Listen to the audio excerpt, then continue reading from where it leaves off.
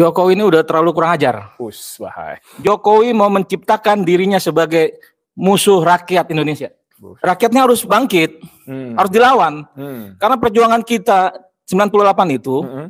kita melawan KKN. Hmm. Jokowi menghidupkan kembali Hmm. nepotisme, Hmm. menghidupkan kemba- kembali dinasti keluarganya. Hmm. Kalian itu telah merusak tatanan kehidupan berbangsa dan bernegara Hmm. dengan menciptakan hadirnya Jokowi hari ini. Hmm. Siapa itu?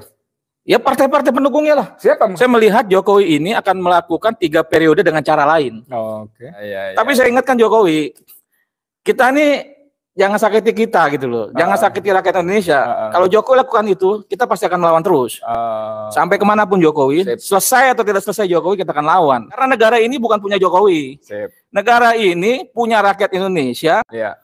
punya generasi yang akan datang. Iya. Insaf lah Jokowi.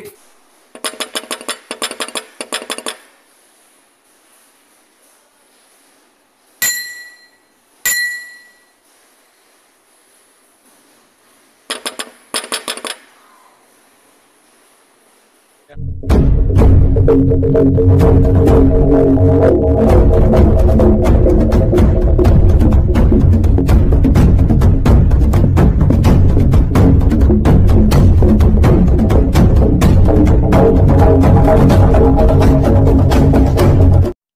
kita mengikuti sistem yang mereka bangun, maka kita akan ikut permainan mereka. Kita cuma jadi figuran apa cheerleader aja tuh ya, tim hore aja. Tetap aja aktor utamanya segala macam mereka. Nah, Mm-mm. gimana nih? Kalau saya melihat hari ini, Jokowi ini udah terlalu kurang ajar. Us, bahaya. Gas langsung. Oke. terus. Ketika ada kepentingan kemarin dikit. Ah, ah, gitu. dinasti Jokowi, Iya. wah MK dengan cepat nih Ah, melaksanakan yang mau diputuskan hari ini gitu loh. hmm, Tapi ketika kepentingan rakyat, hmm, contohnya eh, undang-undang omnibus law itu iya, dan juga eh, PT 0%, betul. MK ini pura-pura buta dan tuli. Iya. Wah, berarti saya melihat Hmm, hari ini Jokowi mau menciptakan dirinya sebagai musuh rakyat Indonesia. bus, bahaya nih. Gitu ya. Wajar kalau Rahmat bilang revolusi, Somat. somat. Hmm. Perlu juga hmm. supaya Jokowi ini sadar gitu loh. Tadi soal MK sigap terhadap kepentingan keluarga Jokowi, tapi buta tuli terhadap kepentingan rakyat tadi pra, presidensial threshold, Hmm. segala macam ya. Itu makanya barangkali orang menye- melesetkan MK menjadi mahkamah keluarga ya. Ya, ya. Mahkamah keluarga, mahkamah kasur kata Mas Adi Mas Adi. Ada mahkamah perkonco-konco-konco gitu. Hmm. Gimana, Tam? Ya itu. Kita tunggu keputusan hari ini. Mm-mm. Kalau memang betul MK mengabulkan, berarti rakyatnya harus bangkit, Hmm. harus dilawan. Hmm. Karena perjuangan kita 98 itu, Mm-mm. kita melawan KKN. Mm-mm. Hari ini Jokowi menghidupkan kembali Hmm. nepotisme, Hmm. menghidupkan kemba- kembali dinasti keluarganya. Mm-mm. Ya, saya minta kepada seluruh rakyat Indonesia, Mm-mm. mahasiswa, buruh, Mm-mm. rakyat, Hmm. pelajar untuk melawan nih Hmm. kebijakan Jokowi ini. Ini ngaco Jokowi udah ngaco. Hmm. Mungkin Jokowi itu tidak tidak tahu sejarah gitu. Apa yang terjadi 98, Hmm. kawan-kawan kami meninggal dunia untuk apa yang kita perjuangkan hari ini. Tapi Jokowi mau coba-coba nih. Mau coba-coba seperti Soeharto. Hmm. Bahkan hari ini banyak orang bilang Jokowi lebih gila dari Soeharto. Iya, kemarin tokoh senior Gunawan Muhammad yang sudah 82 tahun juga menulis surat terbuka dia kecewa, sedih dan kecewa, ya kan? Dulu dia Jokower banget, dia bukan cuma Jokower doang, Jokower banget, bahkan dia aktif kan dengan saliharanya itu berhari-hari bikin pertunjukan seni segala macam, bahkan dia sebagai orang tua jalan kaki dari dukuh atas sampai ke istana siang-siang panas bolong, tapi dia kecewa. Nah, nyanyian kecewa ini sudah mulai merambah ke kolam-kolam nih. Para buzzer pun punya Denny Sregar, siapa Iya. lagi tuh si Ade Armando segala macam. Ini gimana fenomena apa nih? Apakah mereka nanti akan kita ajak melawan Jokowi atau gimana? Kalau saya lihat mereka mah jangan ajak kita ajak melawan Jokowi. Hmm. Kita pendamkan dulu aja ke bumi itu. Karena- boleh bertobat? Enggak karena karena mereka terjadi Indonesia seperti ini gitu. Oke. Dan saya imbau juga nih kepada eh, orang yang dulu dekat dengan Jokowi, partai-partai pendukung Jokowi, Ah, harusnya nih sadar gitu loh. ah. Kalian itu telah merusak tatanan kehidupan berbangsa dan bernegara Hmm. dengan menciptakan hadirnya Jokowi hari ini. Hmm, siapa itu? Ya partai-partai pendukungnya lah. Siapa menghadirkan Jokowi siapa? PDIP mungkin. Ah, kok mungkin? Nas- ya PDIP, Oh, PDIP. Nasdem, koalisi-koalisinya PDIP lah. Dulu yang bawa Jokowi dari Solo ke sini kan Gerindra, Prabowo ke Jakarta. Ya itu juga termasuk. Ya, sebut aja semuanya lah, karena memang sudah bersatu padu gitu loh. Iya, iya, iya. Dan hari ini mereka eh, mau coba-coba lagi bermain seolah-olah mereka nggak bersalah gitu. Hmm. Karena saya melihatnya kalian ciptakan Jokowi ini seharusnya harus berani bertindak. Hmm. Kalau memang Jokowi hari ini salah, Hmm. hari ini ada kekeliruan Hmm. dengan adanya dinasti yang dia mau buat ini Hmm. harus dilawan dong. Iya. Pecat aja Jokowi. Mbak Mega, pecat aja Jokowi, nggak usah takut.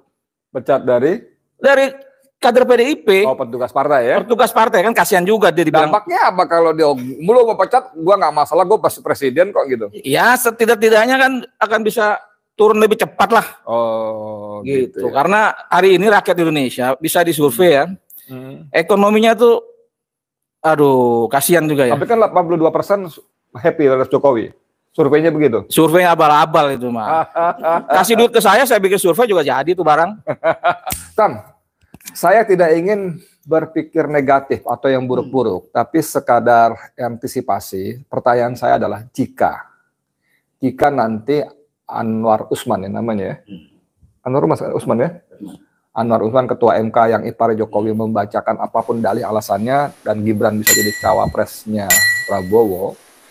Nah, saya saya mau tanya nih, apa bentuk perlawanan segera?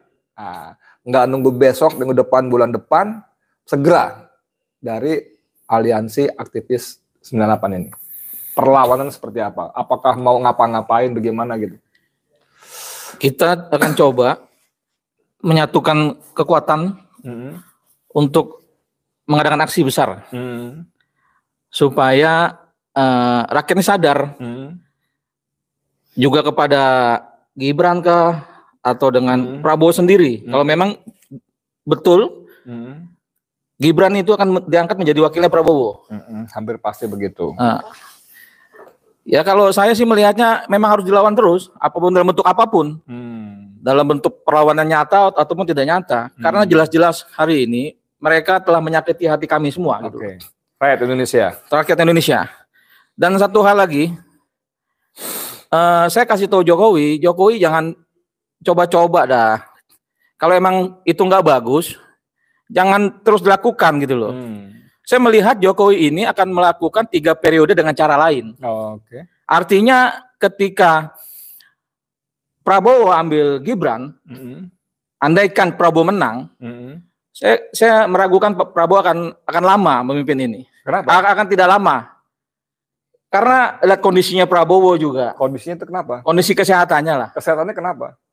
Saya melihat dari fisiknya ada agak Oh. kurang bagus. Tidak sehat dia? Tidak sehat. Oh, sudah oke. sudah tua juga. Sudah tua. Nah, ketika Jadi Prabowo kemu- sakit atau kenapa nih ada Gibran akan- berhalangan tetap ya? Betul. Dengan segala sebab ya? Inilah tiga periode dengan cara lain yang Jok- Jokowi coba setelah Ah, gagal tiga periode oke. kemarin itu atau perpanjangan jabatannya gitu loh. Iya, iya, iya. Tapi saya ingatkan Jokowi, kita nih jangan sakiti kita gitu loh. Jangan Ah. sakiti rakyat Indonesia. Ah, ah. Kalau Jokowi lakukan itu, kita pasti akan melawan terus. Eh, Sampai ke mana pun Jokowi, Sip. selesai atau tidak selesai Jokowi kita akan lawan. Karena hari ini Jokowi melakukan pengkhianatan terhadap reformasi. hmm. Kenapa itu terjadi? Apakah Jokowi itu tidak membaca, tidak tahu peristiwa 98? Hmm. Masih Jadi- sibuk, sibuk, sibuk bikin mebel deh. Nah, itu dia. Makanya saya melihat apakah ijazahnya Jokowi ini benar apa enggak. Kalau orang yang yang punya ijazah benar itu dia akan oh sejarahnya begitu, akan tahu gitu loh. Tingkat pendidikannya. Iya, iya, iya. Nah, jadi Jokowi jangan semakin lama semakin membuka jati dirinya sendiri lah Ah, dengan kekurangan-kekurangan yang Jadi Jokowi miliki. tetap lawan, lawan. kita akan tetap lawan Jokowi kalau melakukan sesuatu yang nggak bagus di negara ini. Karena negara ini bukan punya Jokowi. Sip. Negara ini punya rakyat Indonesia, Iya, punya generasi yang akan datang iya. yang yang ingin hidup baik di negeri ini. Hmm. dengan kondisi yang lebih baik pula, Hmm. pendidikannya, Hmm. kesehatannya, Hmm. bahkan eh, tenaga kerja ini mereka juga butuhkan. Ini Hmm. hari ini, aduh kacau Jokowi. Jokowi ini lebih cepat mundur lebih bagus. Oke. Agar apa? Agar rakyat ini tentram gitu loh. Hmm. Jadi apa yang dimainkan pola-pola Jokowi kemarin ini dengan adanya buzzer segala macam membuat negaranya berantakan gitu kan. Insaf lah Jokowi, kita semakin tua, Hmm. semakin sadar, Hmm. perbaiki bangsa ini dengan bagus, dengan Hmm. legowo, Hmm. serahkan sesuai hukum yang benar, Oke. eh, jalankan pemilu dengan baik, Hmm. jangan ada lagi yang namanya eh, KKN itu Pak Jokowi, Hmm. karena ini bahaya Oke. buat buat generasi Pak Jokowi sendiri, anak Joko, anak Pak Jokowi, cucunya Pak Jokowi, apalagi kemarin itu eh, kita sudah ke KPK Hmm. untuk masalah Gibran dan Kaisang. Kaisang. Hmm. Ini kan kita nggak akan lupa gitu loh. Tindak lanjut dari laporan Ubed ya. Iya, tindak lagi Ubed. Jadi Jokowi ini legowo lah, perbaikin lah. Jangan sampai nanti kita umur tidak ada yang tahu. Tapi ketika itu terjadi, kita akan tuntut yang terlibat itu, yang kita tuntut kemarin, Gibran dan Kaisang ini kan bah- berbahaya. Oke. Dan i- ibunya Ibu Iriani juga begitu. Hmm. Harus kasih nasihatin dong.